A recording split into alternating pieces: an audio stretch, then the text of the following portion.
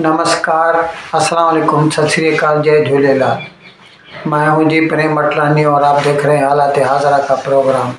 हकीकत ये है, इब्तदा में आपसे दरख्वास्त है, चैनल ज़रूर सब्सक्राइब करें। नाजरीन, कुछ रोज़ के बिल भारत में जापान के वज़ी अजम जनाब फूमियो किशीदा आए थे। और उसके बारे में हमने एक व्लॉग भी किया था, आपको बताया था कि उन्होंने free and open Indo Pacific मतलब रखने के लिए, क्योंकि चीन अपनी दादागिरी दिखाता रहता है साउथ चाइना सीज़ में, और पड़ोसी मुल्कों को सबको धमकाता रहता है। तो इसके लिए भाई इंडियन ओशन और पैसिफिक ओशन इसके बीच में जो भी ट्रैफ़िक है, उसमें कोई भी रुकावट न हो। इसके लिए कुछ मंसूबों पर अमल दरामद के लिए जापान ने भारत को 75 बिलियन डॉलर 75 बिलियन डॉलर देने की ऑफ़र की। अभी इस ज़मन में हमें पता चला है कि भारत का जो नॉर्थ ईस्ट है, यानी शुमाल, मशरक सेवन स्टेट, सेवन सिस्टर्स भी कहते हैं, आसाम, मेघालय, त्रिपुरा, मिज़ोरम नागालैंड वगैरह, ये जो भी हैं, सात पाक भारत के जो स्टेट्स हैं वो भारत के मशरक़ में पड़ते हैं, नॉर्थ मशरक़, यानी शुमाल मशरक़। और वहाँ तक अगर माल पहुँचाना हो भारत के मेन लैंड से तो वो पूरा क्या है, बीच में आता है बांग्लादेश। तो बांग्लादेश से तो गुज़रा नहीं जा सकता तो फिर ऊपर से, यानी मगरबी बंगाल का जो सिलीगुड़ी का इलाका है, यानी मगरबी बंगाल का जो नॉर्दर्न पॉइंट है वहाँ से यहाँ से ऊपर जाके और फिर नीचे आके। तो इसमें एक तो वक्त ज़्यादा लगता है, दूसरा ख़र्चा भी बढ़ जाता है।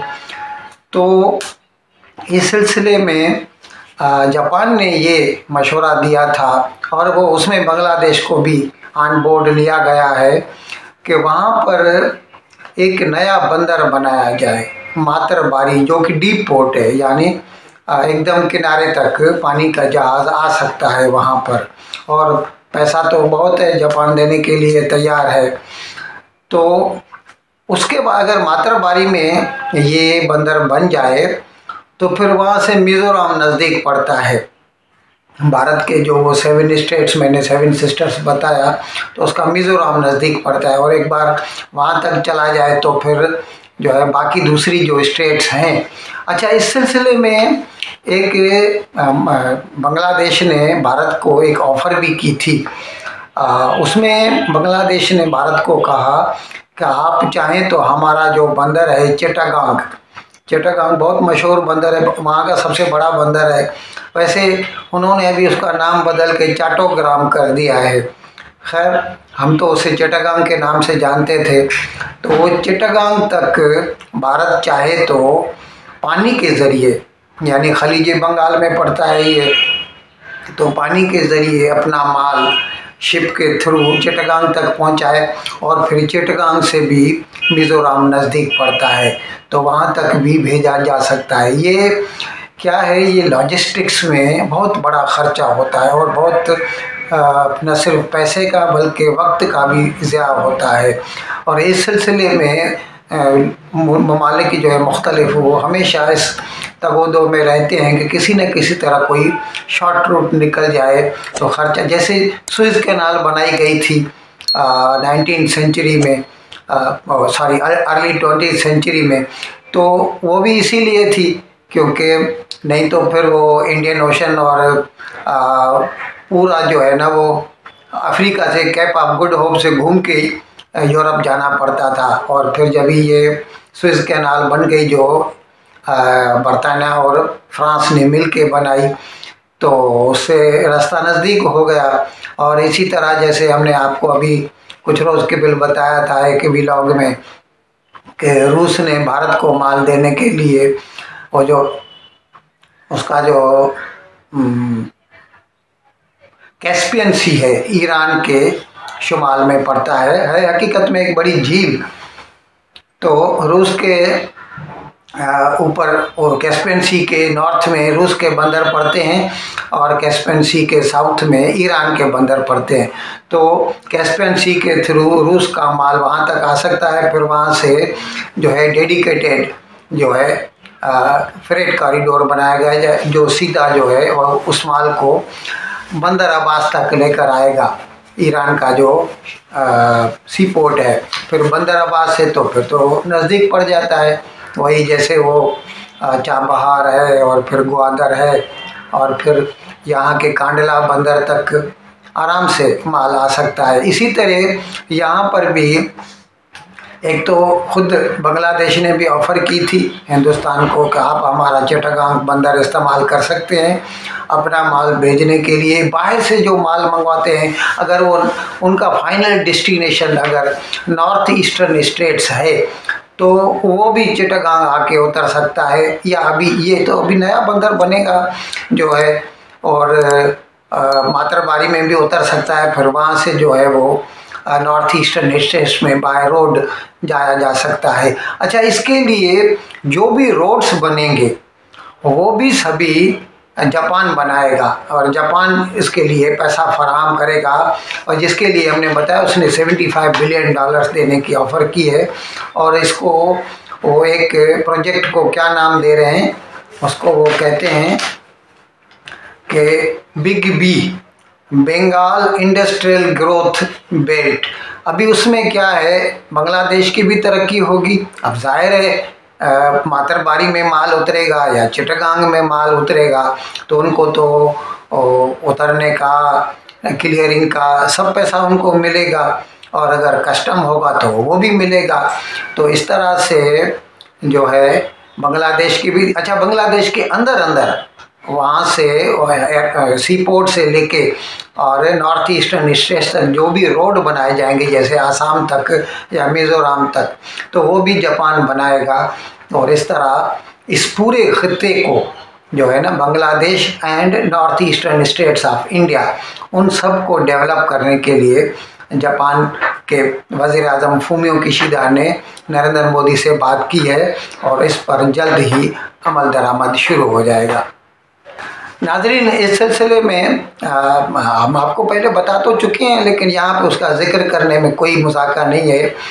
वो क्या हुआ कि कुछ रोज़ के बिल हमने आपको बताया था कि भारत ने जो है बांग्लादेश को डीज़ल बेचना शुरू कर दिया है। और वो डीज़ल भी पहले तो वो ट्रेन के थ्रू जाता था वहाँ लेकिन अभी वो भारत की एक रिफाइनरी है जो आ, वही सिलीगुड़ी के नज़दीक है, वो जो चिकन स्नैक जिसे बोलते हैं, मगरबी बंगाल की।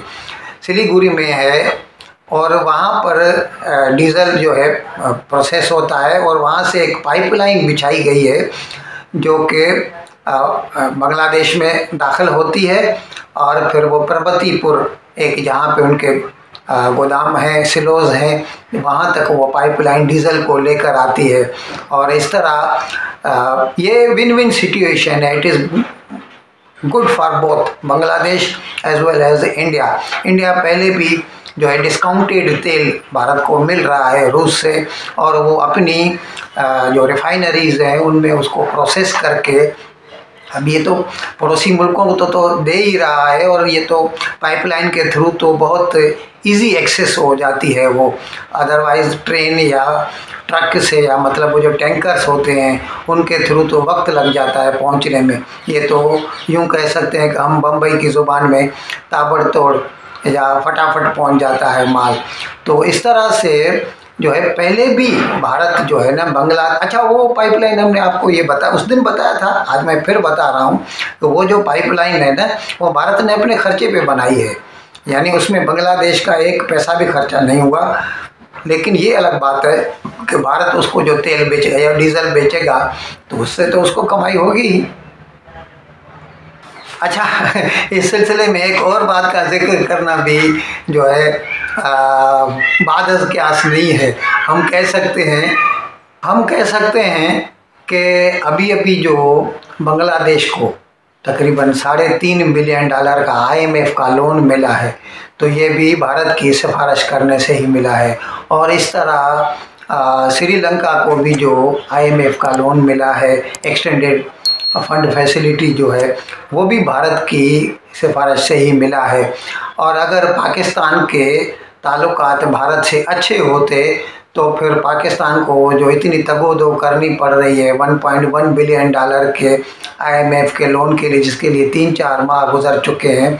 कितनी उनकी मीटिंगें हुई हैं, लेकिन कोई खातर खा नतीजा नहीं निकला। अगर भारत के साथ पाकिस्तान के ताल्लुक अच्छे होते तो हमें उम्मीद है कि पाकिस्तान को भी इससे अर्लियर इससे बहुत पहले ही आईएमएफ का लोन मिल गया होता। नाजरीन, हमने आपको बताया था कि पीटीआई इमरान खान की जो पार्टी है, उन्होंने इलेक्शन कमीशन ऑफ़ पाकिस्तान का जो इलेक्शन मुलतवी करने का जो फैसला है, उसको चैलेंज किया था सुप्रीम कोर्ट में। और जो उसने 30 अप्रैल के इलेक्शन होने वाले थे, पंजाब असेंबली के, और उसको फिर मुलतवी करके उसने इलेक्शन कमीशन ने 8 अक्टूबर तकरीबन छः माह तक पीछे कर दिया उसने। तो उसको उन्होंने चैलेंज किया था सुप्रीम कोर्ट में तो कल उसकी एक पेशी थी। तो उस पर, वहाँ पर पहले तो इस बात पर बहस छिड़ गई। पाँच जजों की जो है वो बेंच बनाई गई है उसको सुनने के लिए। उनके बीच पहले तो इस बात पर बहस हुआ कि एक मार्च को जो सुप्रीम कोर्ट का जो फैसला आया था, वो था पाँच जजों की वो भी बेंच थी, जिसमें तीन जजों ने उसके हक में फैसला दिया था, दो ने मुखालफत की थी। और उसमें कहा गया था कि क्योंकि असेंबली डिज़ाल्व हो गई है तो 90 डेज़ के अंदर अंदर इलेक्शन हो जाने चाहिए। और जिसके बाद फिर वो ईसीपी ने 30 अप्रैल की तारीख मुकर की थी। तो उसमें जजों ने, दो जजों ने, जो मंसूर अली शाह और जमाल मंदो खैर, उन्होंने इस बात पे एतराज़ किया कि वो जो बेंच बनी थी, जो पहले एक मार्च को जिसने फैसला दिया था, वो पहले हकीकत में सात जजों की बेंच बनाई गई थी, उमर अता बंदयाल की तरफ़ से। लेकिन फिर उसमें इस बात की बहाना बनाकर या यूँ कहिए कि बेस बनाकर, बुनियाद बनाकर दो जजों को हटा दिया गया था कि वो जो है डिफरेंस ऑफ़ ओपिनियन रखते हैं। इसीलिए दो जजों को हकीकत में वो दो जज जो थे नहीं वो उसको मोटो नोटिस लिया था उसमें सुप्रीम कोर्ट ने। तो दो जज जो है ना, इसके हक में नहीं थे कि तीस मतलब नबे दिन के अंदर अंदर किसी भी तरह इलेक्शन हो जाने चाहिए। तो कल ये जो पाँच जजों की ये जो डिवीज़न बेंच बिठाई गई है तो उसमें से दो जजों ने, मंसूर अली शाह और जमाल बंदोखेल ने कहा कि वो जो पहली जो, वो सात जजों वाली बेंच थी, जिसने एक मार्च को फैसला दिया था, उसमें दो जजों को हटा दिया गया। तो फिर ऐसा कहा गया कि तीन दो के हिसाब से वो अक्सरती मतलब तीन हो गए तो इसीलिए 90 डेज़ के अंदर अंदर जो है इलेक्शन करा, कराया जाए, उस फैसले को सही करार दिया गया। लेकिन अगर उन दो जजों की जो है उसका, उनका ओपिनियन अगर काउंट किया जाए तो इस हिसाब से वो चार तीन के हिसाब से हो जाता है। यानी सात जजों की बेच में से चार जो है इसके हक में नहीं थे। कि 90 डेज़ के अंदर एट एनी कॉस्ट ये इलेक्शन हो जाने चाहिए। तो खैर, अभी तो उन्होंने, ये दो जजों ने जो है ना, ये जो पाकिस्तान की जो सुप्रीम कोर्ट है, उसका जो चीफ जस्टिस है, उमर अता बंदयाल उसके हकूक़ पर एतराज़ात उठाए हैं कि ये एक मरतबा बेंच बन जाए। तो उसके बाद फिर उसकी जो एडमिनिस्ट्रेटिव जो पावर्स हैं ना, वो ख़त्म हो जाते हैं, फिर जुडिशल पावर शुरू हो जाते हैं और फिर मेरिट्स के ऊपर वो फैसला होता है। फिर ये नहीं हो सकता कि आप फिर एक जब बारह, सात जजों की बेंच बन गई तो उसको, उसमें से दो को हटा दें। खैर, अभी बात, अभी बीच में अभी उसका फैसला नहीं हुआ और उसके बाद फिर चीफ जस्टिस ने जो है ईसीपी से के वकील से, यानी एडवोकेट जनरल जो एडिशनल एडवोकेट जनरल अभी तो एडवोकेट जनरल अपॉइंट नहीं हुआ नया। तो उससे पूछा कि आप अपने ग्राउंड्स दें बेसिस बताएँ किस बुनियाद पर आप जो है चाहते हैं कि ये इलेक्शन मुलतवी हो जाए अक्टूबर तक। तो फिर वहाँ पर बात अटक गई और फिर आज वो कि ये डे टू डे ये इसकी हियरिंग होती रहेगी और जैसे जैसे इसका जो मतलब रिपोर्ट्स आएँगी, हम आपके गोश गुजार करते रहेंगे। इन अल्फाज के साथ मैं आज का प्रोग्राम ख़त्म करने की आपसे इजाज़त चाहता हूँ। लेकिन विदाई लेने से पहले एक मरतबा फिर आपसे मेरी दरख्वास्त है कि जिस किसी साहब या साहबा ने अब तक हमारे इस चैनल को सब्सक्राइब नहीं किया अज़रा करम इसको जल्द से जल्द सब्सक्राइब करें, प्रोग्राम को लाइक करें, शेयर करें और घंटी का बटन दबाना न भूलें। बहुत बहुत शुक्रिया। खुदा हाफिज़।